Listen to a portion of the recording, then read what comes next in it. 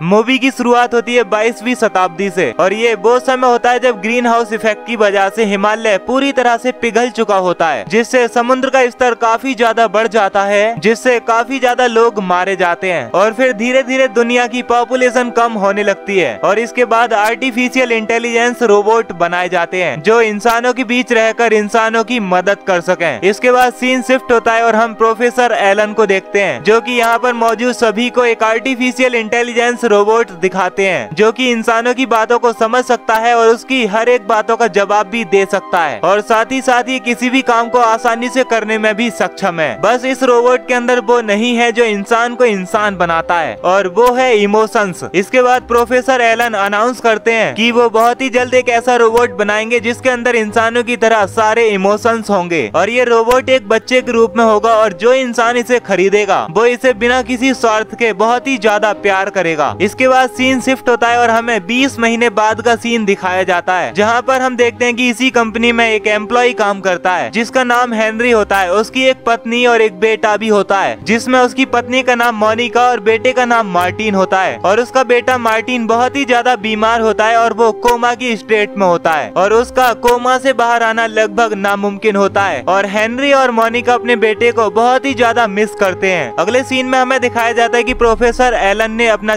Child robot बना लिया है, जिसके अंदर प्यार है इमोशन है और इसके बारे में वो हेनरी को बताता है। और प्रोफेसर एलन उस रोबोट को हेनरी को दे देते हैं। हेनरी उस रोबोट को अपने घर ले आता है और ये रोबोट देखने में हु बिल्कुल इंसान के बच्चे की तरह लगता है। और इस रोबोट का नाम डेविड होता है। अब पहले तो हेनरी की पत्नी काफ़ी ज़्यादा गुस्सा होती है, क्योंकि वो अपने बेटे की जगह किसी मशीन को नहीं देना चाहती थी। इसीलिए वो डेविड को अपने साथ अपने घर पर रखने से मना कर देती है। और हेनरी के समझाने पर मोनिका उसकी बात मान जाती है। हेनरी कहता है कि हमारी कंपनी ने ये रोबोट हमें गिफ्ट किया है। और अगर तुम्हें ये रोबोट नहीं चाहिए तो इसे हमारी कंपनी को वापस करना होगा। और वो इसे डिसमेंटल कर देंगे। क्योंकि जब ये रोबोट किसी के साथ घर में रहता है तो उसकी यादों में वो लोग हमेशा के लिए बस जाते हैं, जिन्हें इसकी यादों से नहीं निकाला जा सकता। इसीलिए इस रोबोट को किसी और फैमिली को नहीं दिया जा सकता। अब मोनिका, पहले तो डेविड को अपने घर पर रखने के लिए मान जाती है, लेकिन शुरू शुरू में मोनिका डेविड को पसंद नहीं करती और फिर जैसे जैसे समय गुजरता है, उसका डेविड से लगाव बढ़ता जाता है। अचानक फिर डेविड एक दिन मोनिका को मॉम कहकर बुलाता है और मोनिका के गले लग जाता है, जिससे मोनिका काफ़ी ज़्यादा हैरान हो जाती है और फिर वह इसी वजह से डेविड को कहीं न कहीं प्यार करने लगती है, जिससे डेविड के अंदर भी बहुत सारे इमोशंस आ जाते हैं। और ऐसा लगता नहीं है कि ये एक रोबोट है, बल्कि ऐसा लगता है कि ये सच में मोनिका का बेटा है। और अब डेविड की वजह से मोनिका के घर में खुशियाँ वापस लौट आती हैं और वो डेविड को अपने बेटे की तरह ट्रीट करती है और डेविड भी मोनिका को अपनी मॉम मानता है। और फिर डेविड एक दिन अपनी मॉम से पूछता है कि मॉम क्या तुम मर जाओगी? जिससे वो कहती है कि हाँ शायद, क्योंकि मैं पचास साल बाद मर जाऊँगी। इसके बाद डेविड उसकी गोद में सर रखता है और कहता है कि, मैं चाहता हूँ कि आप हमेशा ज़िंदा रहो, क्योंकि मैं आपसे बहुत प्यार करता हूँ और मोनिका ये बात सुनकर बहुत इमोशनल हो जाती है। और वो अपने बेटे मार्टिन का एक टॉय उसे देती है और वो टॉय एक रोबोट होता है जिसका नाम टेडी होता है। और ये टॉय बात भी कर सकता है। इसके बाद टेडी और डेविड की दोस्ती हो जाती है। अगले सीन में मोनिका के पास में एक कॉल आता है, जिसमें डॉक्टरों से बताता है कि उसका बेटा मार्टिन अब पूरी तरह से ठीक हो गया है और फिर जल्दी ही ये मार्टिन को अपने घर वापस ले आते हैं। मार्टिन घर आने के बाद डेविड से जेलिस हो जाता है और वो इसे बिल्कुल भी पसंद नहीं करता और वो उसे एहसास दिलाता है कि वो एक इंसान नहीं, बल्कि एक रोबोट है, जिसके बारे में डेविड को बिल्कुल भी पता नहीं होता। और फिर मोनिका अपने बेटे मार्टिन को ब्लू फेरी की स्टोरी सुना रही होती है तो उसी समय उस स्टोरी को डेविड भी सुन रहा था, जिसमें उसे बताया जाता है कि एक रोबोट को उसके अच्छे बिहेवियर की वजह से एक परी इंसान बना देती है। और ये बात सुनकर डेविड काफ़ी ज़्यादा हैरान हो जाता है। फिर अगले दिन जब सभी ब्रेकफास्ट कर रहे होते हैं, तब उनके साथ डेविड भी बैठा होता है। तभी मार्टिन उसे फिर से एहसास दिलाता है कि वो एक मशीन है और वो कुछ भी नहीं खा सकता। इसीलिए डेविड भी खाने लगता है, जिसकी वजह से उसका चेहरा और बॉडी बिगड़ने लगती है, जिसके बाद उसे रिपेयर कराया जाता है। हालाँकि ये सब देखकर मोनिका काफ़ी डरी हुई होती है और फिर डेविड उसे समझाता है कि आपको डरने की बिल्कुल भी ज़रूरत नहीं है, क्योंकि मुझे इससे बिल्कुल भी दर्द नहीं हो रहा। अगले सीन में मार्टिन डेविड से कहता है कि अगर तुम चाहते हो कि मॉम तुमसे ज़्यादा प्यार करें तो तुम्हें उनके बाल काटकर अपने पास रखने होंगे। और फिर डेविड मार्टिन की बात मान जाता है क्योंकि वो मोनिका से बहुत प्यार करता है। और फिर रात में जब मोनिका सो रही होती है, तब डेविड उसके थोड़े से बाल काट देता है। और तभी मोनिका और हेनरी की नींद खुल जाती है, जिस पर हेनरी उससे पूछता है कि तुम तुमने ऐसा क्यों किया? जिस पर वो कहता है कि मैं चाहता हूँ कि मॉम मुझसे और भी ज़्यादा प्यार करें। और तभी डेविड के हाथ से मोनिका के बाल टेडी के सामने गिर जाते हैं और टेडी उन बालों को उठा लेता है। अगले सीन में हमें दिखाया जाता है कि मार्टिन और डेविड एक पूल पार्टी में जाते हैं। यहाँ पर डेविड मार्टिन का बर्थडे गिफ्ट लेकर पहुँचता है। वहीं पर मार्टिन के बहुत सारे दोस्त भी आए हुए होते हैं, जिनके पास एक चाकू होता है और वो उस चाकू की नोक को डेविड के पेट पर चुभाते हैं, क्योंकि असल में वो देखना चाहते हैं कि रोबोट को दर्द होता है या नहीं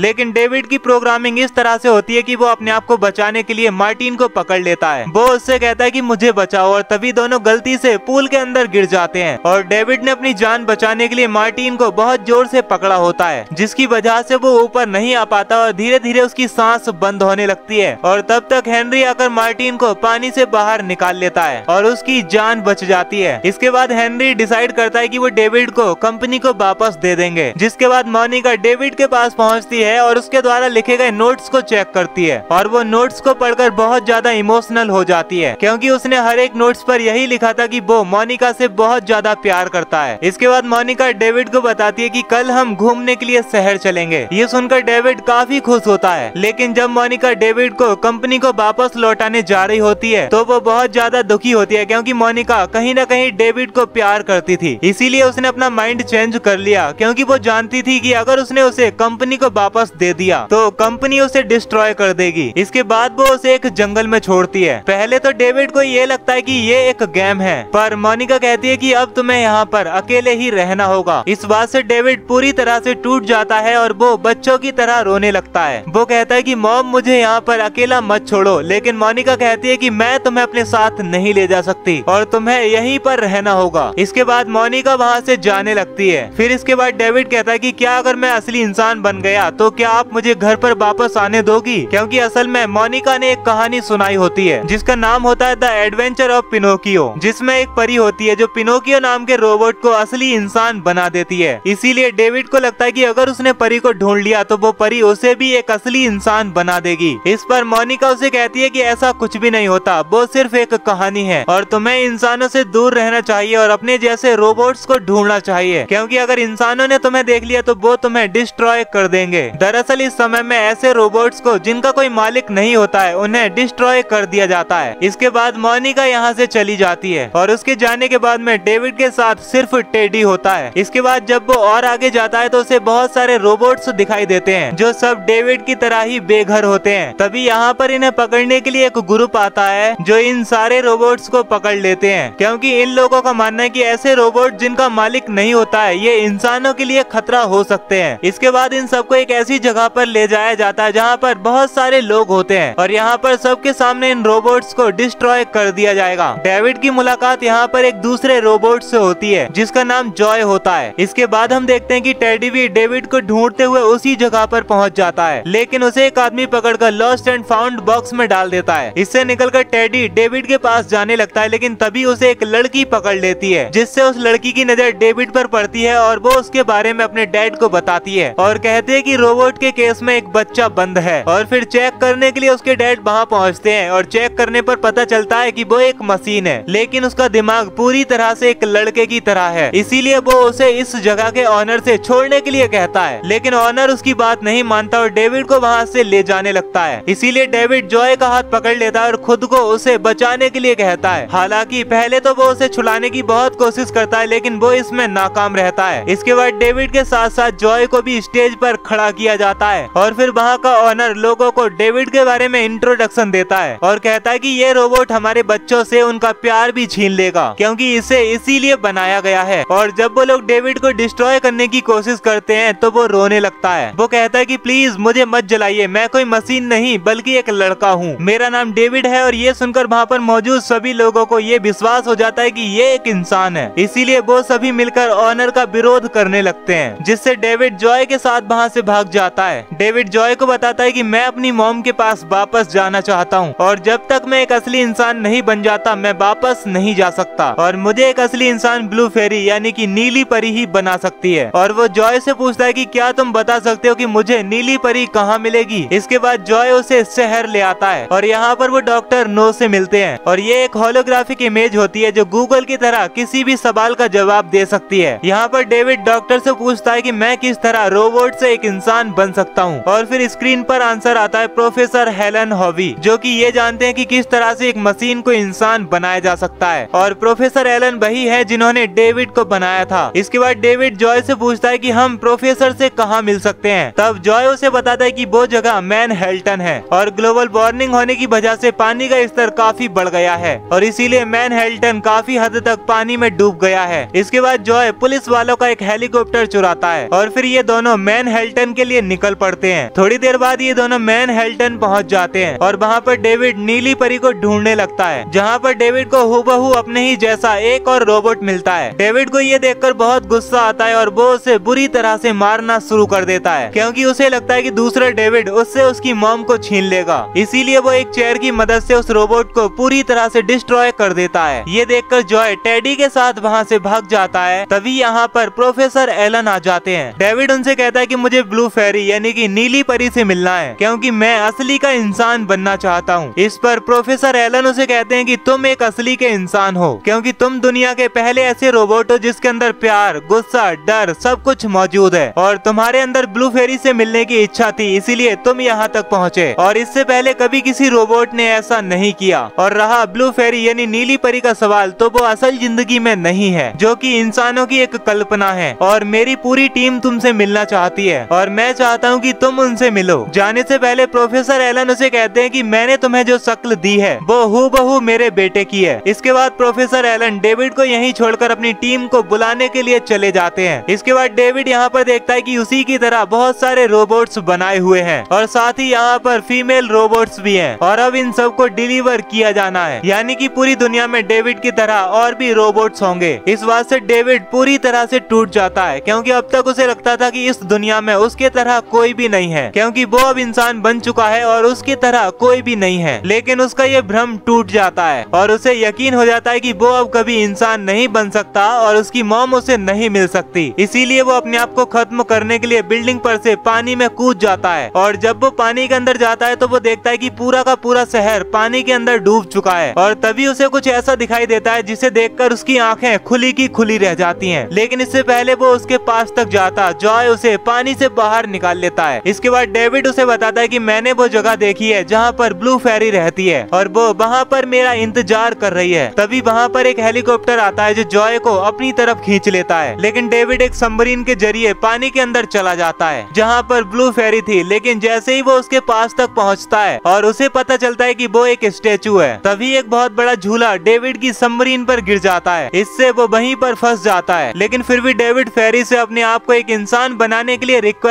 करता है और इस तरह से उसे 2000 साल बीत जाते हैं। इसके बाद हम देखते हैं कि कुछ एडवांस रोबोट डेविड के पास पहुंचकर उसे बाहर निकालते हैं। इस दौरान डेविड पूरी तरह से जम चुका था और उसे होश आते ही सबसे पहले वो ब्लू फेरी के पास पहुँचता है और खुद को इंसान बनाने की रिक्वेस्ट करता है। लेकिन उसके छूते ही वो पूरी तरह से टूट जाती है जिसे देखकर डेविड बुरी तरह से दुखी हो जाता है, क्योंकि वो परी एक पुतला थी। इसके बाद वहाँ पर मौजूद एडवांस रोबोट डेविड की मेमोरी चेक करते हैं, क्योंकि वो पहला ऐसा रोबोट था जो इंसानों के बीच था। और डेविड के बारे में जानने के बाद वो डेविड के लिए एक ऐसी जगह बनाते हैं जो उसके घर के जैसी थी। इसके बाद डेविड वहाँ पर भी अपनी मॉम को ढूँढने लगता है। तभी उसे वहाँ पर एक औरत की आवाज़ आती है। और वो जब वहाँ पर जाकर देखता है तो वहाँ पर उसे ब्लू फेरी मिलती है, जिसकी मदद से एडवांस रोबोट उससे बात करने की कोशिश कर रहे होते हैं। लेकिन डेविड जब उससे कहता है की मुझे एक असली इंसान बनना है, इस पर वो इस चीज़ के लिए साफ़ इंकार कर देती है और कहती है की मैं तुम्हारे लिए कुछ भी कर सकती हूँ। लेकिन मैं तुम्हें एक इंसान नहीं बना सकती। फिर जब डेविड को पता चलता है कि उसकी मॉम को मरे हुए 2000 साल बीत गए हैं तो वो बहुत ज़्यादा दुखी होता है और कहता है कि मुझे मेरी मॉम वापस चाहिए। इस पर ब्लू फेरी उससे कहती है कि मैं तुम्हारी मॉम को तभी वापस ला सकती हूँ जब मेरे पास तुम्हारी मॉम का डीएनए होगा। तभी वहाँ पर टेडी पहुँच जाता है जो बताता है की मेरे पास अभी तुम्हारी मॉम के बाल सेफ़ है। इसके बाद वो एडवांस रोबोट मोनिका को फिर से वापस लाने का वादा करते हैं। लेकिन साथ ही साथ वो ये भी बताते हैं कि हमने पहले भी ऐसी कोशिश की थी, लेकिन कोई भी इंसान एक दिन से ज़्यादा ज़िंदा नहीं रह पाया। इसीलिए तुम्हारी मॉम एक दिन के बाद वापस चली जाएँगी। लेकिन डेविड कहता है कि हो सकता है कि वो बाकी सबसे अलग हो। और क्योंकि वो एडवांस रोबोट चाहता था कि डेविड किसी भी हालात में खुश रहे, इसीलिए वो उसकी मॉम को वापस लाने का वादा करता है। इसके बाद अगले सीन में जब हम देखते हैं कि डेविड जब अपने बेडरूम में पहुँचता है तो वहाँ पर उसकी मॉम लेटी हुई है, जिन्हें देखकर वो बहुत ही ज़्यादा खुश होता है और इसके बाद वो उनके लिए कॉफ़ी बनाकर लाता है। और क्योंकि एडवांस साइलेंस रोबोट ने मोनिका को डेविड की पुरानी लाइफ के बारे में बात करने के लिए मना किया था। इसीलिए डेविड इस बारे में कोई ज़िक्र नहीं करता।